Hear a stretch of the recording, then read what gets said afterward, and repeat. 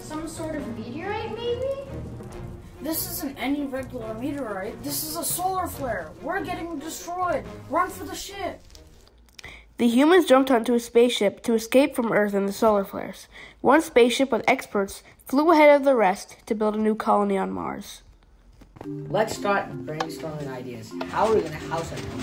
What about a hexagon tiered style building? This is my Art Deco model in the Tinkercad software seen in green. It is our planning artifact. We have to be self sufficient. We have to have a food production unit and an energy production unit in our building. The building will have a geometric cubism art pattern that matches with the Art Deco architecture.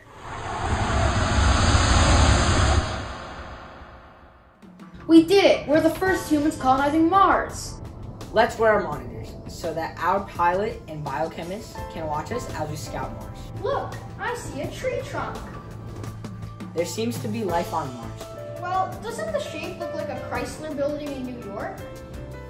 Yes, the tree seems to have a streamlined linear tiered trunk.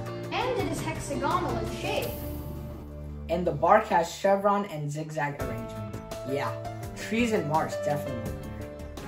It's a solar flare. Oh they got hit by solar flares. Why is our spaceship so big? Scans suggest that atoms have been shrunk even smaller than they already are, and now they're about the size of molecules. What is happening? We've lost contact. We can't hear them, we can only see them. We are shrinking and getting sucked like a vacuum cleaner. Where are we? Look at the heavy machines. They will grind us. Ha, we've trapped you guys. Now we have a supply of carbon dioxide. It's enough to feed my whole entire tree, and we'll make sure that you guys don't flee. We sucked you up because you were small. You were small enough to go through our cell wall. Where are we? You're inside a plant cell, and we're the organelles. What are organelles anyways? Organelles are plant cell parts. We function so that the plant does not fall apart. We sucked you up with our special doors and windows. You gave us carbon dioxide, so you're the real heroes.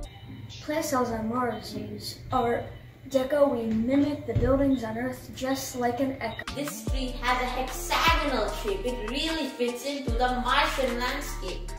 Plant cells are long and linear and house the important parts, or very geometric and don't have any boards. Our tree bark is made of awesome glazed bricks. Our hard exterior provides for a handful of tricks. These cubes represent cubism art.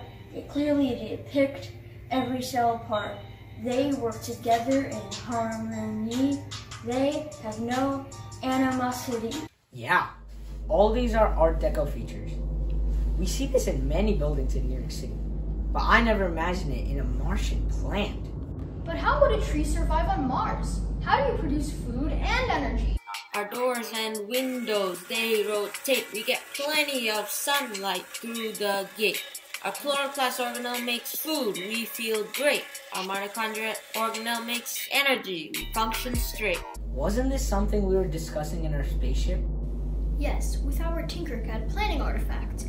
Let's try to sneak out. I'm so sorry. You can't leave. You're the only CO2 we receive. Let's go rescue our friends. What if we get trapped too? Don't worry, I have a plan. We come in peace. We want to offer our hands in friendship. Will you please give us shelter in exchange for carbon dioxide? Now you're talking, we'll make it poppin'. Can we bring our friends too? We provided shelter for millions of years. Of course, of course we'll volunteer. So we don't have to take the trouble of rebuilding our whole colony. Well, would you know that a plant cell would save the day? In the next few months, more humans landed on Mars and found shelter, food, energy, and Art Deco plant cells spread all over Mars. A new partnership was formed between the humans and plants.